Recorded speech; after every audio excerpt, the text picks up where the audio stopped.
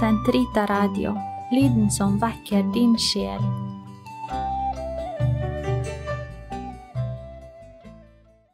Kroppens teologi, en kommentar til pave Johannes Paul 2.s onsdagskatekeser av Eirik Ambrosius Stenhoff. Totus tuus ego sum, et omnia mea tua sunt, Archipio te in mea omnia, prebe mi cor tum Maria. Episode 20 Kjærligheten i Guds plan. Høysangen og Tobits bok. Katekesene 108 til 117 Sjalu.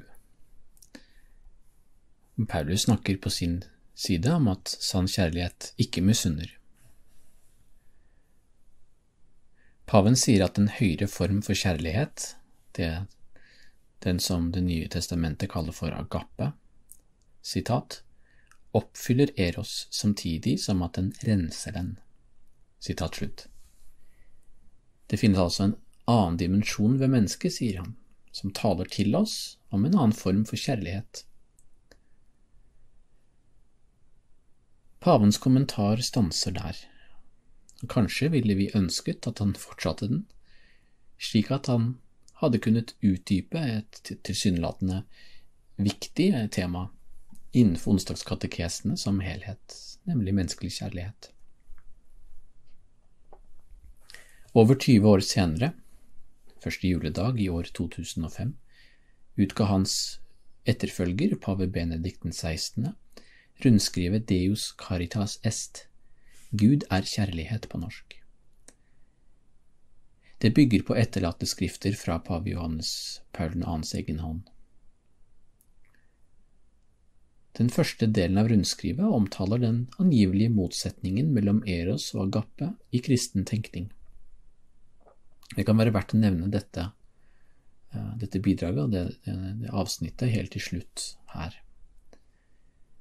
Pave Benedikt skriver at mange i dag oppfatter den kristne tradisjonen som fiendtlig innstilt til Eros, altså begjæret, og dessuten til kroppen. Men denne kritikken, selv om den riktignok viser til noen historiske tendenser innenfor kristendommen, bygger i seg selv på en reduksjonistisk forståelse av kjærlighet og kroppslighet. Eros er i vår tid blitt redusert til ren seksuell aktivitet, og kroppen forstås som tom materie som viljen eh, rår over.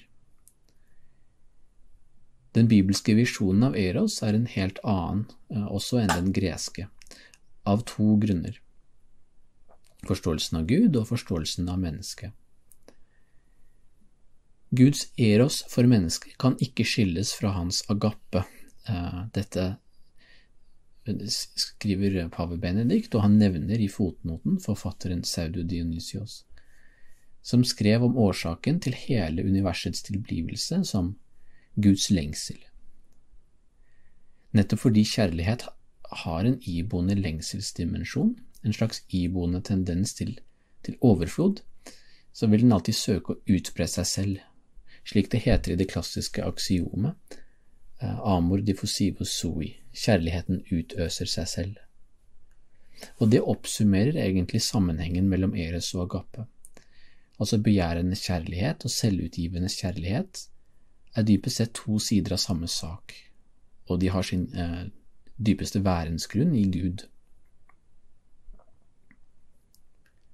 For det andre nevner Benedikt at mennesket, skapt i Guds bilde, er skapt for kjærlighet. Han går gjennom skapelsesberetningen, hvor Adam oppdager sin ensomhet og behovet for en hjelper for seg selv, som han så finner i kvinnen. Paven trekker to konklusjoner fra dette. Sitat Eros er for det første på et vis rotfestet i selve menneskets natur. Adam søker kvinnen, og bare sammen kan de to utgjøre den fulle menneskehet og bli ett kjød. Det andre aspektet er like viktig. Fra skapelsens ståsted driver Eros mennesket mot ekteskapet, mot et bånd som er unikt og definitivt. Bare på den måten oppfyller det sin dypeste hensikt. Det monogame ekteskapet svarer til bildet av en monoteistisk gud. Sitat slutt.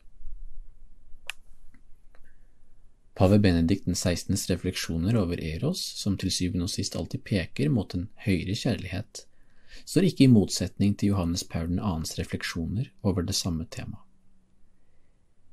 Det vi imidlertid bør si, er at høysangen, forstått ut fra sin teologiske og historiske kontekst, beskriver storheten og skjønnheten i menneskelig kjærlighet, utvilsomt, men også noe av dens ufullkommenhet og sårbarhet.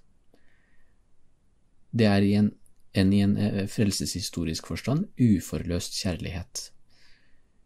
Kilden til vår kjærlighet, ja, selve vår eksistens, er en Gud som er én og tre, som selv har lengtet etter oss i den grad at han har skapt oss.